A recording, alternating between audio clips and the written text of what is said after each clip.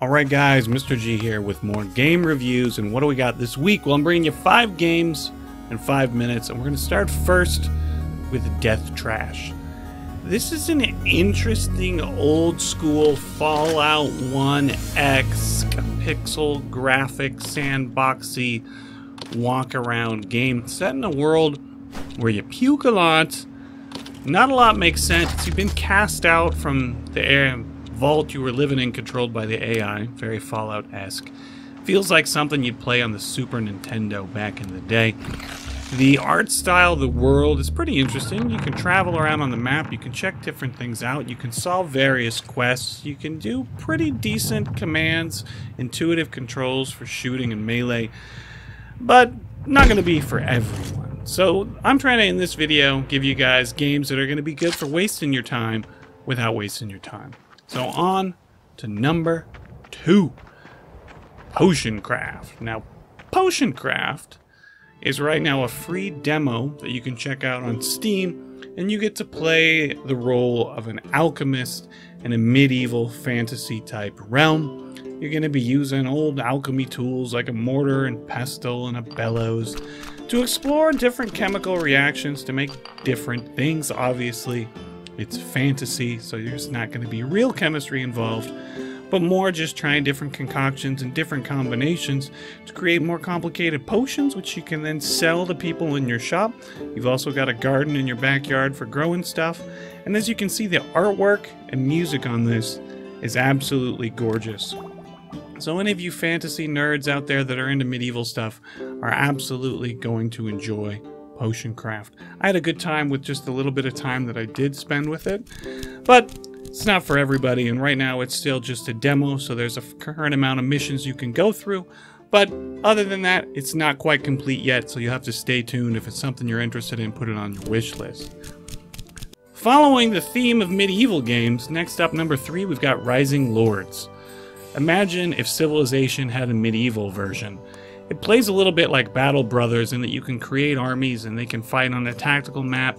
Also, kind of reminds me of Lords of the Realm 2 that I played back before a lot of you were probably even born. Um, the art style is awesome.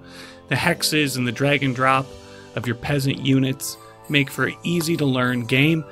However, some part about it just felt lacking and I couldn't put my finger on it. There's also a card system built into the battle elements it looks beautiful, it feels fun, but some part of me just couldn't get immersed in it, and I don't know what part it was. Maybe it's the fact that there wasn't a ton of buildings to unlock, although the buildings you do get do all have upgrade options and defensive structure options you can use. And I did like that the battles involve thousands of units which you directly recruit from your population. Still, a decent game.